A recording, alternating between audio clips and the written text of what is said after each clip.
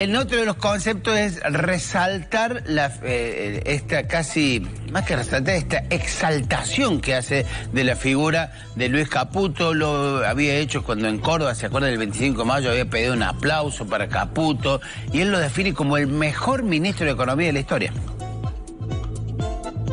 En el fondo, lo que va a terminar siendo esto es demostrar que el ministro Luis Caputo es el mejor ministro de Economía de toda la historia argentina.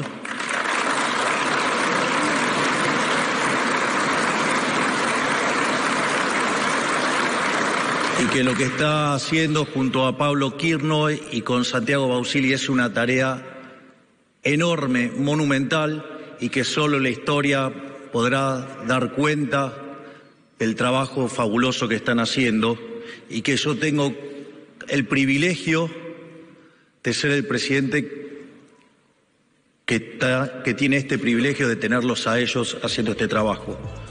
Bueno, eh, sí, no es la primera vez que lo dice, pero como que cada vez le va agregando adjetivaciones hacia la figura de eh, Ojalá tenga razón, sea el mejor ministro de Economía de la historia. No vamos a beneficiar todos los argentinos todavía, eso está por verse.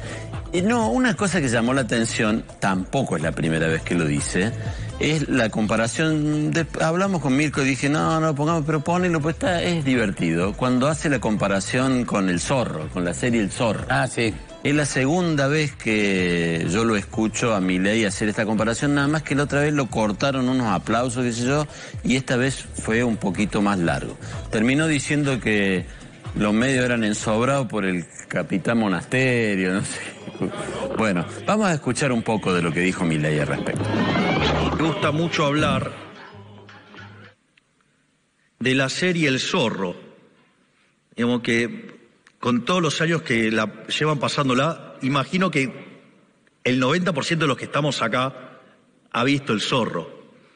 El zorro verdaderamente es un héroe, es un verdadero héroe. El zorro es anarcocapitalista.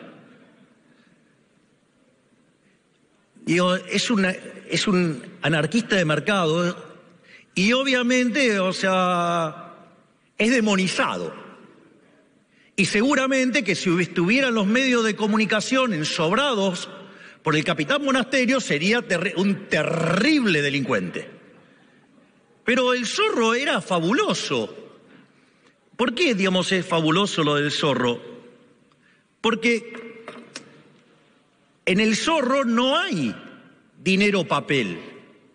Entonces cuando venía alguien del puerto y venía a comercializar, evidentemente no solo traía mercancía, sino que también que traía oro. Era como que llevaba una etiqueta en la cabeza que decía, tengo oro. Entonces, ¿qué pasa? Era... Eran como penal sin arquero. Digo, ¿por qué? Porque, digamos, para los delincuentes eso era fácil, o sea, sabían que ahí había oro. Entonces, es interesante porque el zorro que hacía combatía a esos delincuentes.